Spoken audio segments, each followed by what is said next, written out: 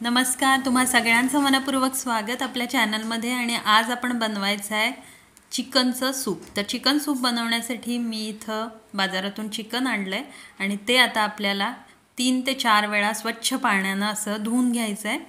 तर या ठिकाणी मी आता चिकन जे आहे ते स्वच्छ धुवून घेणार आहे आणि त्यानंतर आपल्याला त्याचं सूप बनवायचं आहे तर चिकन या ठिकाणी मगाशी सांगितल्याप्रमाणे तीन ते चार वेळा मी इथं धुवून घेतलेलं आहे आणि आता आपण चिकन सूप बनवण्यासाठी मसाला तयार करूया. तर कोथिंबीर घेतली आहे दहा ते बारा लसणाच्या पाकळ्या आणि दोन इंच आल्याचा तुकडा.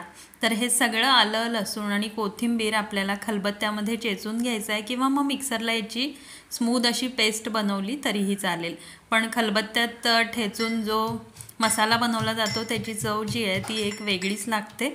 आणि इथं बाकीच्या खड्या मसाल्यांमध्ये मी घेतलेला आहे.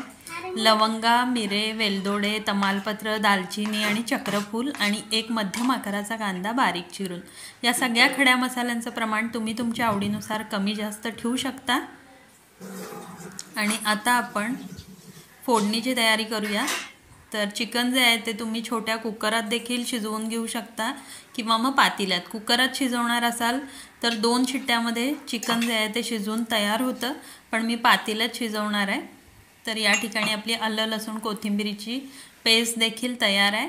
तर मी पातेल्यामध्ये चिकन सूप बनवणार आहे. तर पातेल्यामध्ये तीन चमचे तेल घातलं आहे आणि तेल थोडंफार गरम झालं की त्यामध्ये सगळे खडे मसाले आपण आधी घालून घ्यायचे.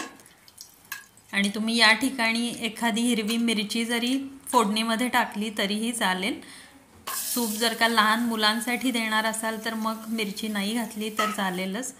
आणि आता कांदा सगळे खडे मसाले तेलामध्ये छान परतले गुलाबी असे भाजून झाले की त्यामध्ये ठेचलेली आलं लसूण आणि कोथिंबीरीची जी पेस्ट आहे ती ॲड करायची.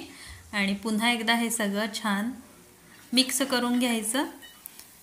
एक अर्धा ते एक मिनिट हे छान मी हलवून घेतलं आहे सगळं तेलामध्ये आणि आता आपण धुतलेलं जे चिकन आहे ते आता यामध्ये मिक्स करायचं आहे तर या ठिकाणी चिकन ॲड केल्यानंतर आपण यामध्ये चवीनुसार मीठ घालायचं आहे. तर या ठिकाणी मी साधारण दीड चमचा मीठ घातलं आहे आणि सोबतच मसाल्यातला जो छोटा चमचा असतो तो दीड चमचा हळद घातली आहे तर हळद मीठ घातल्यानंतर आपण हे सगळं चिकन छान मिक्स करून घ्यायचं आहे आणि ह्याच्यात पाणी घालायची गडबड अजिबात करायची नाही आहे तर हे सगळं मिक्स करून याच्यावरती झाकण लावून याला एक पाच मिनटं छान या मसाल्यासोबतच हळदी मिठाच्या पाण्यातच याला छान शिजवून घ्यायचं आहे तर हळदीमुळं मिठामुळं याला अंगचंच पाणी सुटायला मदत होते.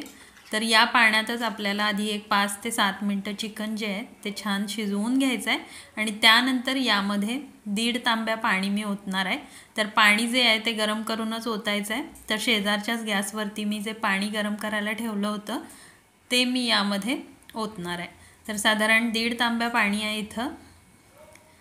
आणि ते मी आता या पातेल्यात ओतलं आहे आणि पुन्हा एकदा चमच्याच्या मदतीनं हे सगळं मिक्स करून घेते.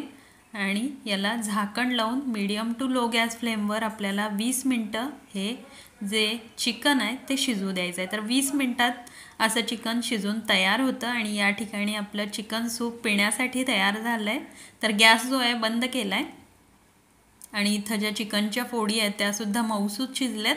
तर आता मी हे गरमागरम चिकन सूप जे आहे ते सर्व करते आहे तर तुम्हाला आजची ही सोपी रेसिपी कशी वाटली जरूर कळवा. आपण भेटू अशाच एका नवीन रेसिपीसोबत तोपर्यंत मस्त खा स्वस्त रहा. धन्यवाद.